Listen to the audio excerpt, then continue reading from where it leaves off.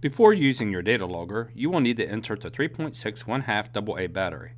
To do this, you will need a very small screwdriver. A jeweler's screwdriver will work best.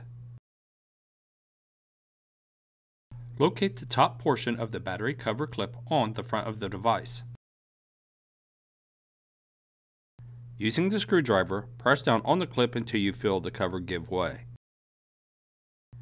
Remove the cover and then insert the battery, paying attention to the polarity. Once the battery is inserted, each LED light will flash. You will then see an LED flash green. You can then slide the cover back on and begin setting up your device.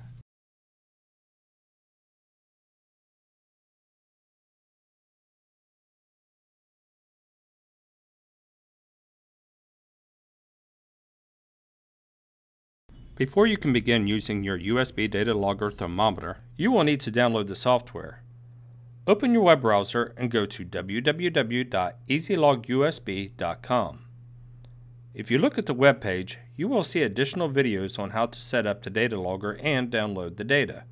There is also a file that contains instructions on how to install, but we will cover all of these procedures in this video.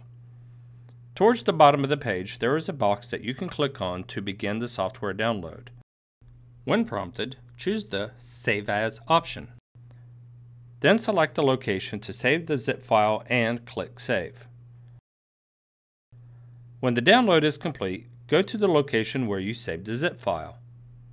Open the zip file and select setup.exe to begin the installation.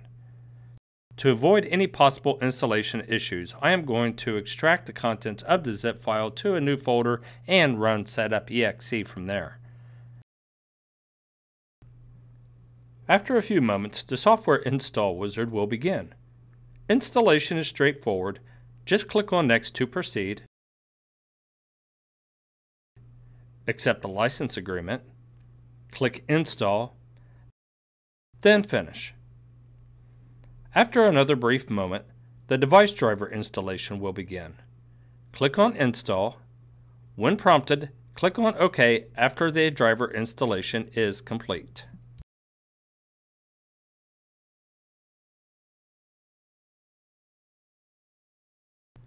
After installing the software, insert the data logger into an available USB port on your computer and launch EasyLog USB. After the program is loaded, click on the option Set up and start the USB data logger. By default, the name of the device is EasyLog USB. You can change the name of the device to anything you like using 15 characters or less. I'll name my device Pharmacy Fridge. Next, choose a unit of measure you wish the data to be recorded in, Fahrenheit or Celsius. I will choose Fahrenheit. Lastly, using the drop-down arrow, choose how often you wish to have the device record the temperature. Notice the more frequent the device records the temperature, the shorter the time it takes to fill the memory of the device. I'll choose to read the device once every two minutes. Click on Next to continue. You now have three options to choose how you want your LCD display to function. Off, on for 30 seconds after button press, and LCD always on. Keep in mind, the longer the LCD stays on, the quicker it can drain the battery.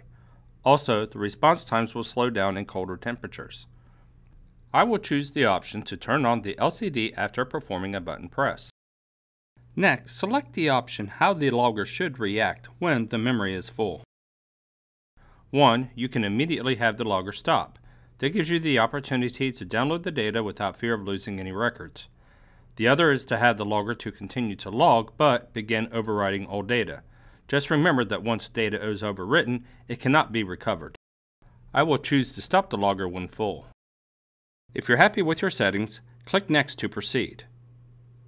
Now select the temperature alarms to be set, either high, low, both, or none. I will record both. If you check the box to disable the LEDs, they will show no activity of any kind. Next, type in the temperature for your high alarm value. When finished, do the same for the low alarm value. You can choose to check the hold box if you want the data logger to report there was an alarm condition even after the temperature has returned to the set parameters. Again, if you're satisfied with the settings, click on Next to continue. You can now configure how many consecutive readings the thermometer reads in an alarm condition before it is indicated by the LEDs. For example, you can tell the thermometer to wait until after five high readings are outside of the high alarm settings before having the LED indicate an alarm. This configuration is useful when the environment condition may change for a brief period of time, such as having to leave a fridge door open to restock. Since I have the thermometer set to record every two minutes, I don't believe I need a delay and will keep the default settings of one alarm condition for high and low. Again, press next to continue. You can now choose to have the USB data logger to start recording the temperature right away, at the push of a button, or at a desired date and time. I recommend starting the data logger at least one hour after you have completed your setup so that the device has a chance to adjust to the environment it will be recording in. Click on Finish to complete the setup. Click on OK on the final screen and remove the data logger from the USB port. Place the cap back over the USB connector and place the device in the desired location. I recommend placing it in an area where it is least likely to be disturbed and will not be exposed to fluctuating temperatures such as the door of the refrigerator or freezer.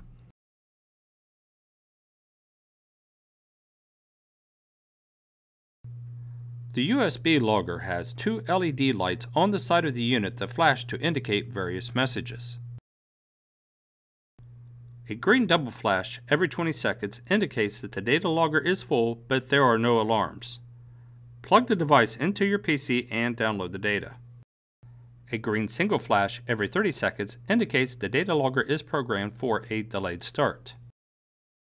A green single flash every 20 seconds indicates that the data logger has a low battery but is still logging and there are no alarms. Make arrangements to download the data and replace the battery before it is depleted. A green single flash every 10 seconds indicates the device is actively logging and there are no alarms. A red-green dual flash every 20 seconds indicates the logger is full and the last value recorded is equal to or exceeds the high or low alarm. Plug the device into your PC and download the data. A red double flash every 10 seconds indicates the device is actively logging, but the high alarm has been exceeded. If you set up the device to hold the alarm, the LED will continue to flash even after the temperature has returned to within set limits. Make arrangements to download the data and restart the device. A red double flash every 20 seconds indicates the device is actively logging, but the high alarm has been exceeded and the battery is running low. If you set up the device to hold the alarm, the LED will continue to flash even after the temperature has returned to within set limits. Also, make arrangements to download the data and replace the battery before it is depleted. A red single flash every 10 seconds indicates the device is actively logging, but the low alarm has been exceeded. If you set up the device to hold the alarm, the LED will continue to flash even after the temperature has returned to within set limits. Make arrangements to download the data and restart the device.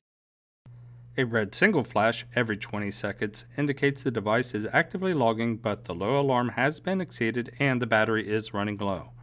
If you set up the device to hold the alarm, the LED will continue to flash even after the temperature has returned to within set limits. Also, make arrangements to download the data and replace the battery before it is depleted. No LEDs flashing indicates that the data logger has either stopped or the battery is exhausted. If you confirm the battery has power, plug the device into the USB port on your PC and run setup and start the USB data logger. As you see before you are the LED flashing modes for the EL USB 1 LCD thermometers. If you click anywhere on the screen, you will be directed to the Healthcare Logistics product page where you can download a copy of the instructions for future reference.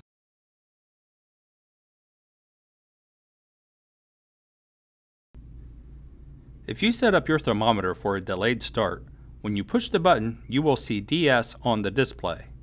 Even if the thermometer is configured for the display to always be on, the screen will remain blank until the device has started. then the current temperature will automatically appear.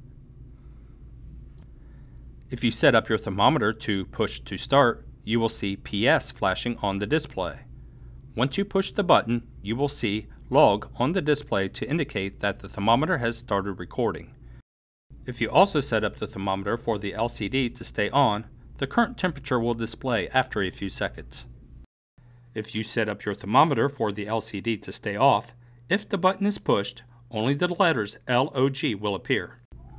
It will not be possible for any user to view any data from the display when the LCD is off. If security is essential, keeping the LCD off will be your proper setup. Reviewing the data on display is quite easy. When you push the button for the first time, if the LCD is not on, you will see the current temperature of the environment. Push the button a second time and you will see the highest temperature since the thermometer was last cleared. Push the button a third time and you will see the lowest temperature since the thermometer was last cleared. And a fourth push will cycle the display back to the current temperature.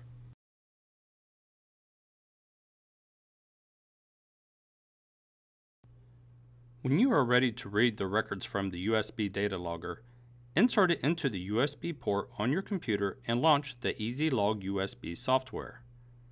Click on the option to stop the USB data logger and download the data. When prompted, click on Yes to confirm you are sure you wish to do this. A message will soon appear that the logger is in the stop condition. You will also see the assigned name of your data logger and the number of records that will be downloaded. Click on OK and the Windows Explorer window will appear. Browse to the location you wish to save the records. Give it a descriptive name, then click on Save. Back at the EasyLog USB program, click on OK. After a few moments, the EasyLog Graph program will launch.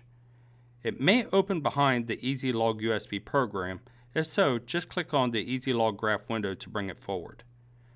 You will now see a graph interpreting the data that was collected. If you scroll across the graph, you will see the date, time, and temperature when the record was taken. At the bottom, you will see the date and time range of the records. You can also remove certain lines from the graph by unchecking the box next to the corresponding name of the line. Of course, checking the box returns the line to the graph. If you move your mouse over the icons, a description of the function appears at the bottom of the icon. If you modify the graph in any way, such as what lines you wish to view, you can save the graph with the changes you made. Click on the magnifying glasses to zoom in or out of the graph. The clock will allow you to zero in on a specific time period. The printer will allow you to print the report. Export will allow you to export the report to various formats such as CSV, JPEG, PDF, data or graph, or Microsoft Excel, data and graph. Mark samples will highlight the graph every time a record was taken. Statistics will show quick information such as the highest or lowest temperature reading, the average temperature, and the standard. If you click on Data View, you can review the details of each record taken. Any record that is outside of the set limits will have the temperature highlighted in red. If you're only interested in viewing the alarm records, you can simply click on the Show Alarms Only icon in the upper right corner. Notice the icon name will change to Show All Readings to return to the default view. It is important to remember that the device was stopped prior to downloading the data. Before you can use the data logger again, you will need to rerun the setup and start data logger option. You should not need to change any values except to delay the start time. Saved data can be read anytime using the EasyLog graph. You can launch the program by clicking on View Previously Saved Data from the EasyLog USB menu or from the Windows menu. Simply launch the program and browse to the location of where you are saving your data logger files. By default, if you modified a previous file, such as altering the view or applying a filter and then saved the changes, the program will add the word modified to the file name.